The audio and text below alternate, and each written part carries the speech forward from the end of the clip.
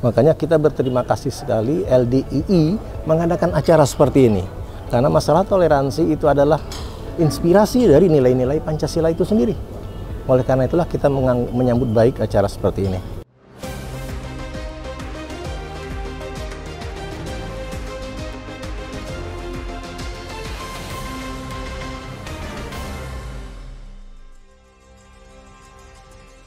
DPW LDI Jawa Tengah dan Badan Kesatuan Bangsa dan Politik atau Kesbangpol Jawa Tengah berkolaborasi mengadakan seminar kebangsaan jilid 3 di Semarang, Jawa Tengah pada Sabtu 29 Juli 2023. Acara tersebut mengundang para pembicara nasional dan dibuka oleh Gubernur Jawa Tengah Ganjar Pranowo.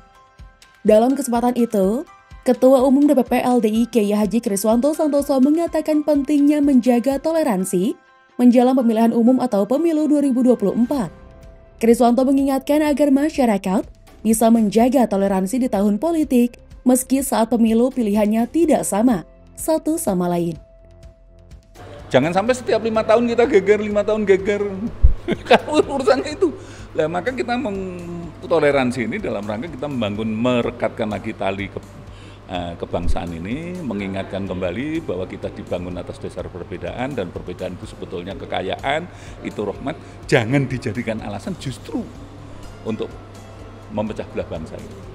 Itu, maka kita perlu toleransi itu menjadi sesuatu yang sangat penting karena basic dari toleransi itulah yang menjadikan kita ini bisa bermasyarakat, berbangsa, bernegara seperti Indonesia ini.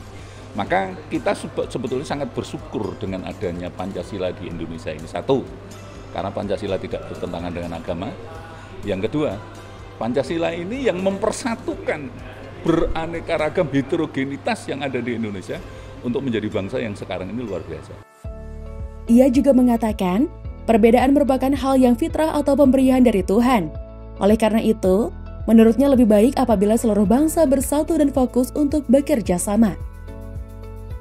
Sementara itu, Dewan Pakar Badan Pembinaan Ideologi Pancasila atau BPIP bidang strategi hubungan luar negeri, Darman Syah Jumala, mengapresiasi LDI karena mengangkat tema nilai-nilai toleransi dalam Pancasila.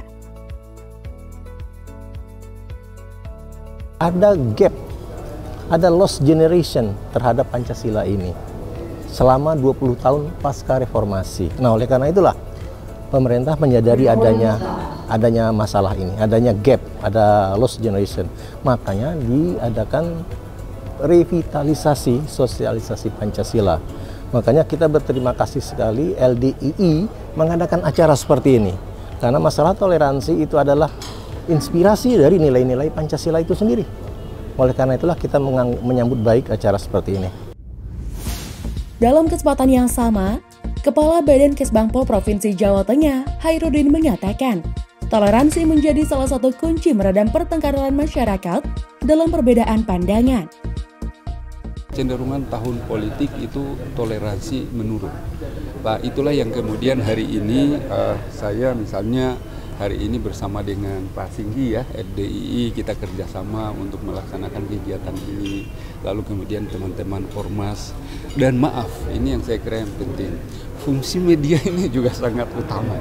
Bagaimana kemudian kawan-kawan media ini memberitakan hal-hal yang membuat masyarakat kita kondusif, masyarakat kita tenang gitu.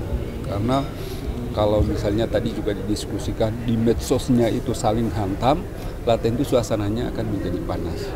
Tapi kalau pemberitaan, narasi-narasi positif juga kita perbanyak, ya insya Allah lah saya kira damai-damai aja di Jawa Tengah.